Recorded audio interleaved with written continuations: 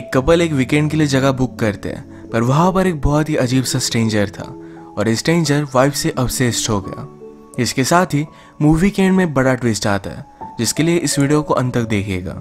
Hello friends आज मैं आपको वेलकम होम ये 2018 की mystery thriller Hollywood movie explain करने वाला हूँ। ये बहुत ट्विस्ट एंड टर्न से आती है तो लास्ट तक इस वीडियो को ज़रूर देखिएगा। अगर आपको वीडियो अच्छा लगता है तो प्लीज़ इसे लाइक और कमेंट ज़रूर कर दीजिए। बिना किसी देरी के एक्सप्लेनेशन स्टार्ट करते हैं। मूवी स्टार्ट होते ही हम कपल को देखते हैं इसमें लड़की का नाम है ब्रायन और लड़की का नाम है कैसी एक्चुअल में कैसी ये ब्रायन की फियांस है। उन्हें लग रहा था कि अपनी रिलेशनशिप उन्हें सुधारनी चाहिए, इसलिए वीकेंड पर वो इटली में आए। वहाँ पर कुछ दिनों के लिए बड़ा सा घर उन्होंने बुक कर लिया था। ये दोनों आज इसके लिए बहुत ही एक्साइटेड है। इनका कैब ड्राइवर इन्हें अलग सी जगह पर लेकर आता है। ये सरप्राइज़ थे, क्योंकि उनका घर नहीं था। जब भी उनके बुक किए हुए घर पर पहुँचे तो बहुत बड़ा होता है। इन दोनों को बहुत पसंद आया। घर में अंदर आते ही वाइन पड़ी हुई थी। इस घर के ओनर ने उन्हें वेलकम किया था। ओनर ने एक नोट में लिखा है कि मैं पास के शहर में ही हूँ। अगर आपको मेरी ज़रूरत पड़े तो आप मुझे कॉल कर सकते हो। ये दोनों बहुत एक्साइटेड थे। ब्रायन ने होम ओनर की सब चीज़ें वगैरह देखी।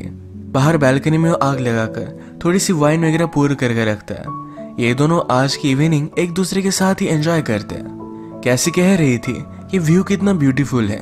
सब कुछ कितना सही लग रहा है। तभी ब्रायन का फ़ोन बजता है। कैसी ने कहा, हम इस वीकेंड के लिए हमारे फ़ोन बंद कर देते हैं और एंजॉय करेंगे। ब्रायन भी इस बात के लिए मान गया। वो अपना फ़ोन रखने के लिए गया हुआ था, तभी कैसी का फ़ोन बजता एक आदमी का उसे कॉल आ रहा था और ये देखकर ब्रायन डिस्टर्ब हो गया। एक्चुअल में कैसी ने उसी आदमी के साथ ब्रायन पर चीट किया था। तो अब अपनी रिलेशनशिप को सुधारने के लिए इस वीकेंड पर वो आए हुए थे। फिर से उस आदमी का कॉल आने पर ब्रायन को सब कुछ चीज़ें याद आने लग गई और वो कैसी पर गुस्सा हो गया। कैसी ने उसे नीचे बुलाया था? ये दोनों फिर इंटीमेट होने वाले थे। ब्रायन उसके पास गया, पर उसके साथ इंटीमेट हो नहीं पाता। कैसी भी इस बात से बहुत अपसेट हो गई वो रात में सोई हुई थी, तभी ब्रायन उसके पास आया। उसे मनाने की कोशिश करता है, पर कैसी बहुत गुस्सा थी। वो उससे कुछ भी बात नहीं करती। ब्रायन फिर घर में होम ओनर की अलग अलग चीज़ें देख रहा था। इसमें एक अजीब सी किताब थी। यही पढ़ते पढ़ते ब्रायन सो जाता है। सुबह होने पर कैसी ब्रायन के लिए ब्रेकफास्ट बनाती है उसे फाइट नहीं करना चाहती।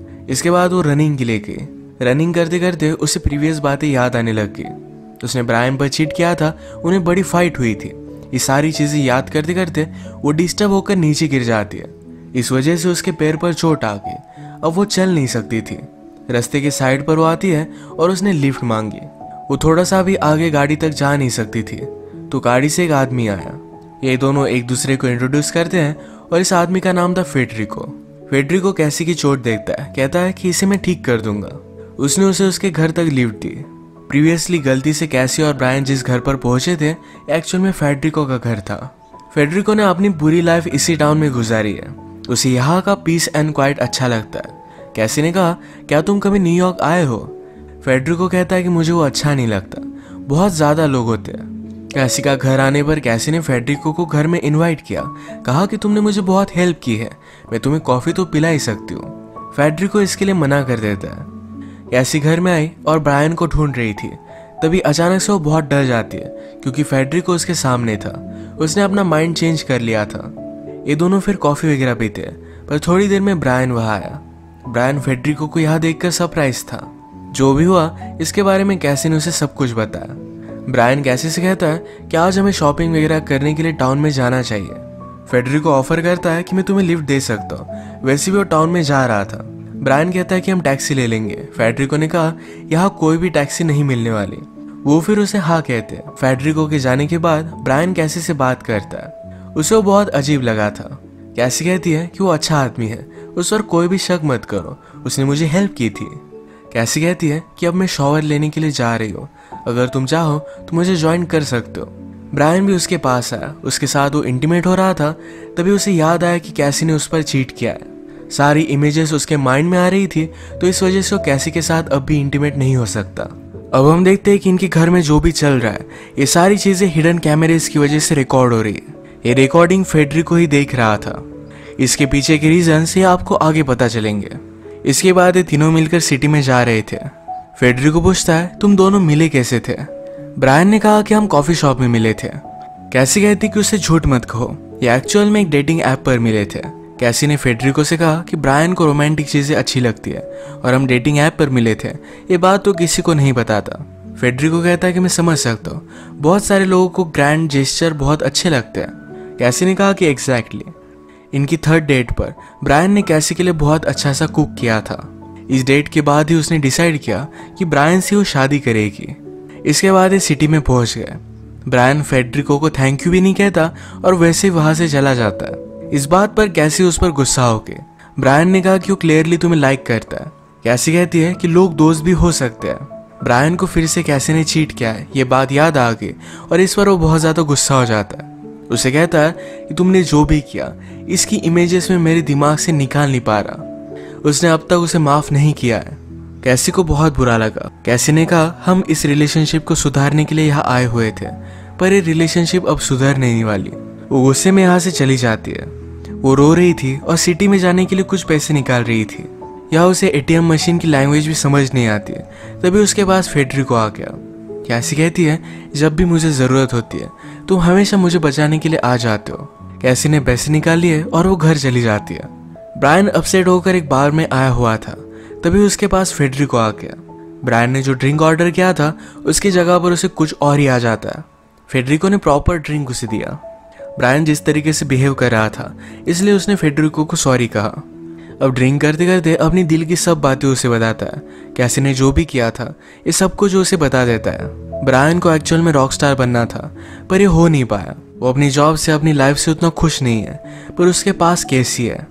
वो कैसी से बहुत प्यार करता है, पर कैसे ने जो भी किया, इसके बाद उसे कमिट नहीं कर पाता। फेडरी को बहुत शांत था, वो अपने बारे में कुछ भी नहीं बताता। ब्रायन ने जब उससे पूछा तो कहता है कि मैं कंप्यूटर्स में काम करता हूँ। यहाँ इसी बार में इन दोनों ने कुछ लड़कियों को नोटिस किया। ब्रायन का माइंड फ्री करने के लिए फेडरिको कहता है, चलो हम उनसे बात करते हैं। ये सब बात करने लग गए। ब्रायन और भी ज़्यादा ड्रंक हो गया। फेडरिको कहता है कि हम एक गेम खेलते हैं।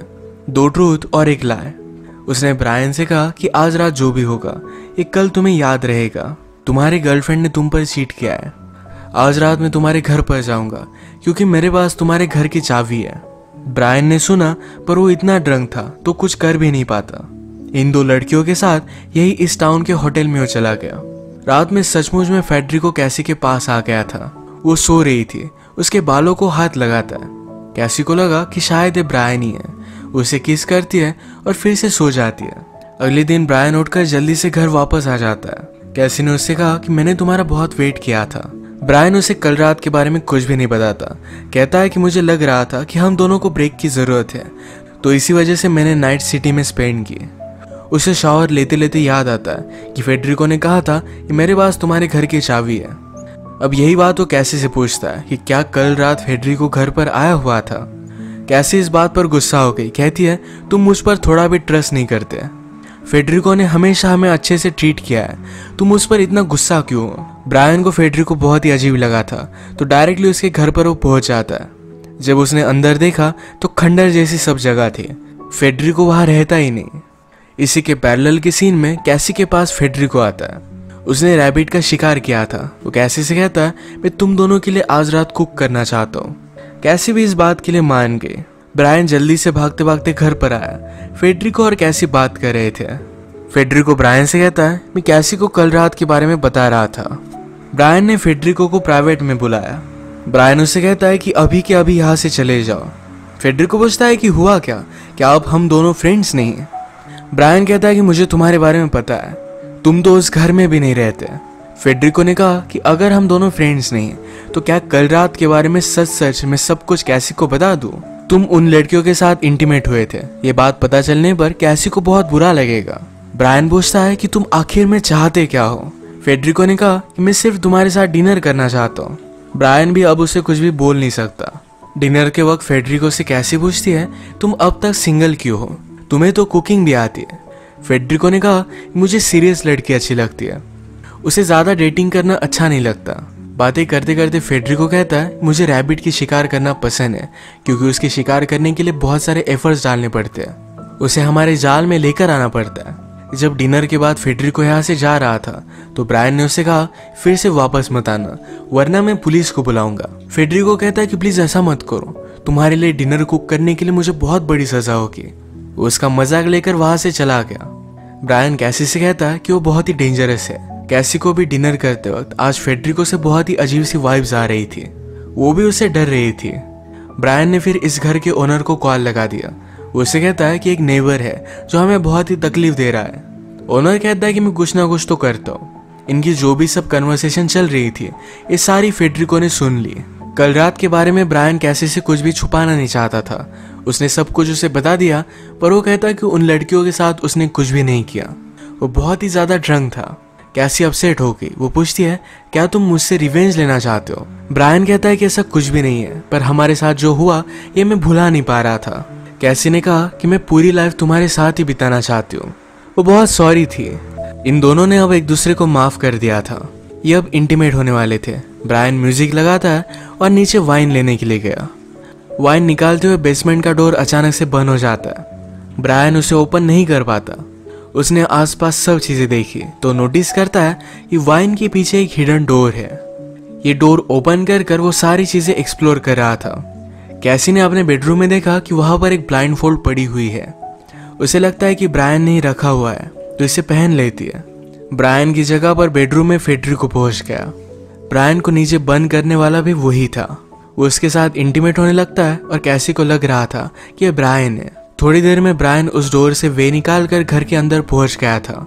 फेडरिको ने उसकी आवाज़ सुनी और वहाँ से वो भाग गया। कैसी भी वंडर करती कि अचानक से हुआ क्या? उसने ब्लाइंड फोल्ड वगैरह निकाला, तभी उसके मोबाइल पर नोटिफिकेशन आए ये एक वीडियो थी जिसमें ब्रायन उन लड़कियों के साथ इंटीमेट हो रहा है, इसकी वीडियो रिकॉर्डिंग है। इसी के पैरेलल में ब्रायन जिस रूम में था, वहाँ के टीवी पर अभी अभी फेडरिको कैसी के साथ इंटीमेट हो रहा था, इसका फुटेज चलने लग जाता है। ये दोनों अब एक दूसरे पर बहुत ज़्यादा गुस्सा थे।